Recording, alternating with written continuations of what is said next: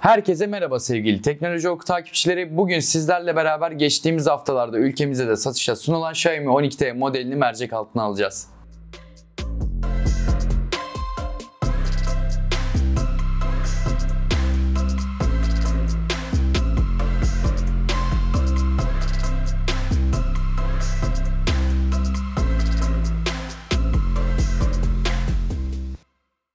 Bildiğiniz üzere Xiaomi 12T serisi modelleri Xiaomi'nin ilgi gören modelleri arasında yer alıyor ki zaten üst segment olarak tabir edebileceğimiz modeller zaten az sonra bahsedeceğiz. Güçlü işlemcisi, güçlü kamerası hep amiral gemisi modellere kafa tutacak nitelikte ki zaten Xiaomi 12 serisine göre T serisini ben daha cazip buluyorum. Daha öncesinde de Mi 9T ve Mi 11T yeni adıyla Xiaomi 11T'yi de kullanmıştım. Özellikle tasarım anlamında daha çok beğendiğim bir seri olduğunu sizlere belirteyim. Bugün ise inceleme konuğumuz Xiaomi 12T. Dilerseniz fazla uzatmadan cihazın tasarım ayrıntılarıyla başlayalım. Cihazı ilk olarak elimize aldığımızda arka tarafında devasa bir ana kamera sensörü. Onun altında ise iki kamera daha bulunuyor. Bunun dışında ofisimize gelen renk mavi renkti. Fakat bunun dışında siyah rengi de bulunuyor. Fakat ben bu rengi daha çok beğendim. Özellikle renklerin yansıması konusunda benim bir aile hoşuma gittiğini söyleyebilirim. Cihazın sağ tarafına baktığımızda ses açma kapama tuşu ve kilit tuşu karşımıza çıkıyor. Üst tarafında bir hoparlör ve kızılötesi sensörü bulunuyor. Alt tarafına baktığımızda ise bir hoparlör daha. Aynı zamanda Type-C girişi ve sim kart yuvası bizleri karşılıyor. Ekranı açtığımızda ise bir delikli ekran tasarımı bulunuyor. Bu tasarıma baktığımızda ekranda resmen bir tam ekran hissiyatı bizlere yaşatıyor. Çünkü kamera oldukça küçük. Kamera performansı iyi olmasına rağmen tam ekran hissiyatının yakalanması adına kamera sensörünün ufak tutulduğunu ve çerçevelerin de son derece ince olduğunu belirtelim.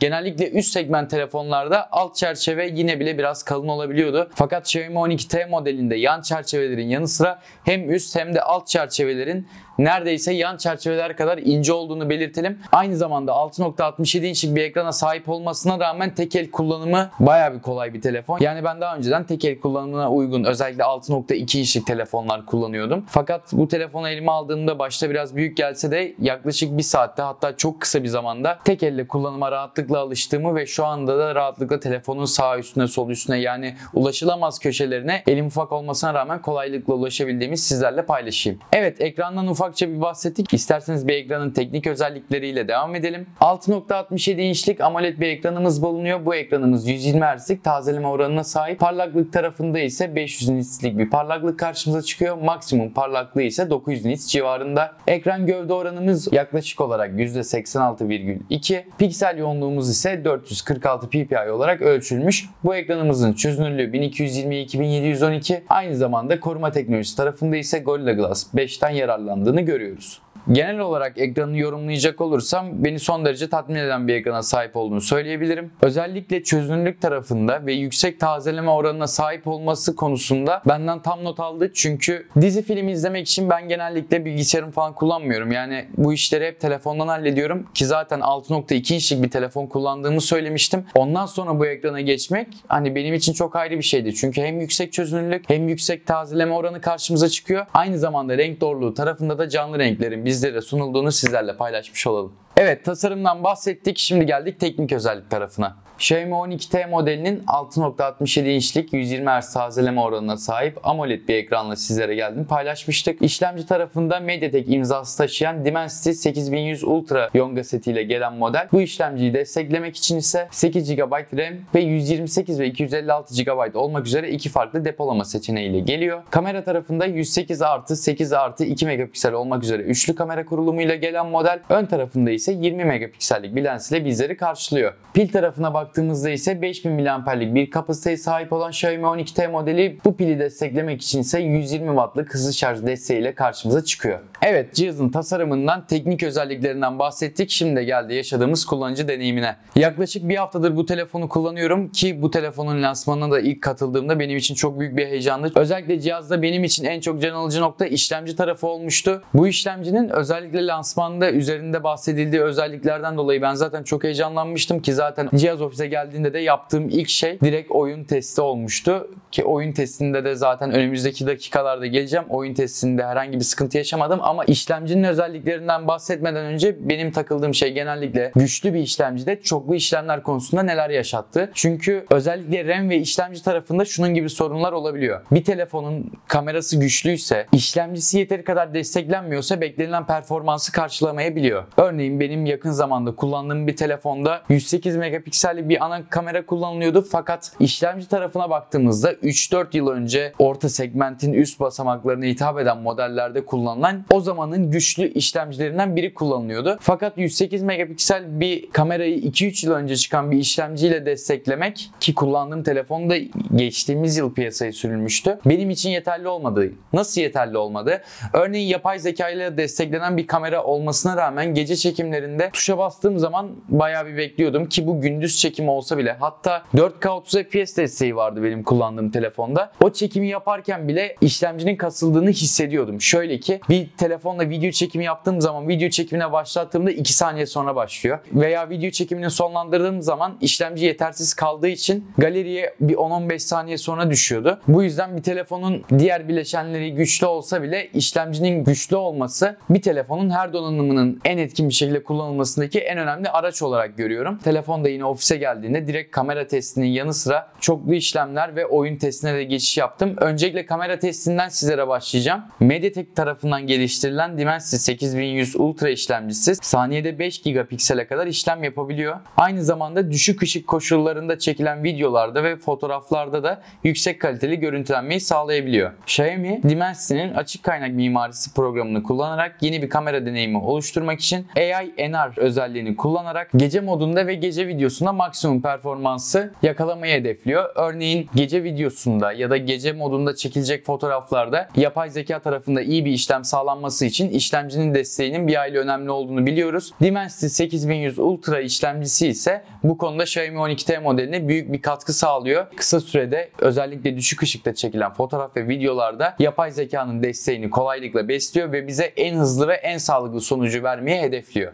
Bunun dışında işlemcinin performansının kamera konusunda bizlere sağladığı avantajlardan sizlere bahsettik. Özellikle 108 megapikselin performansını maksimumda kılmak için işlemcinin desteğinin büyük olduğunu sizlere belirttik. Az sonra kameranın özelliklerine de geleceğiz ama işlemci hazır girmişken özellikleri say say bitmiyor. Biraz da çoklu işlemler ve oyun tarafında bizlere sağladığı avantajlarla devam edelim. Öncelikle oyun tarafında herhangi bir ısınma ve donma yaşatmadığını sizlere belirtelim. Biz yaklaşık 2 saat süren bir Call of Duty deneyiminden sonra yine çok ufak ısınmalar meydana geldi fakat telefonu 2 dakika kenara bıraktığımda hemen hızlı bir şekilde soğutulduğunu yani soğutma tarafında başarılı bir modelin bizleri karşıladığını söyleyeyim. Aynı zamanda bu 2 saatlik oyun deneyimi tarafında herhangi bir donmayla da karşılaşmadım. Örneğin genellikle telefonların oyun testinde maksimum ısıya yaklaşık 20-30 dakikada çıktığı için 30 dakikadan sonra donmaların meydana geldiğini sıklıkla buradaki yaptığımız telefon testlerinde görmüştük. Fakat Xiaomi 12T modelinin MediaTek Dimensity 8100 Ultra işlemcisi sayesinde bu güçlü işlemcinin sağladığı avantajları sonuna kadar kullandık ve Call of Duty oyununu ultra grafiklerde rahatlıkla oynayabildik. Aynı zamanda yüksek tazeleme oranına sahip panelin avantajından da sonuna kadar yararlanarak kusursuz bir oyun deneyimi yaşadığımızı sizlere belirtelim. İşlemci tarafında şuna da değinmeden edemeyeceğim. Çoklu işlemler konusunda da RAM'in desteğini sonuna kadar alıyor. 8 GB'lık bir RAM desteğine sahip olduğunu sizlere belirtmiştik. 8 GB RAM'in 3 GB'lık sanal RAM ile desteklendiğini ve arkada 10-15 uygulama açık olsa bile her uygulamaya bıraktığınız yerden erişebildiğinizi bu konuda da RAM'in sıkışmadığını sizlerle paylaşmış olalım. Evet şimdi geldik en çok merak edilen tarafa tabii ki kamera tarafı. Cihazda 108 megapiksellik devasa bir sensör bulunuyor. Bunun yanı sıra video tarafında da zaten az sonra testlere geçeceğiz. Fakat öncelikle bir kameranın teknik özellikleriyle devam edelim. Xiaomi 12T modelinin ana kamerasında f1.7 diyafram açıklığına sahip 108 megapiksellik bir ana kamera bulunuyor. Bu ana kameranın optik imaj sabitleyici desteğine de sahip olduğunu belirtelim.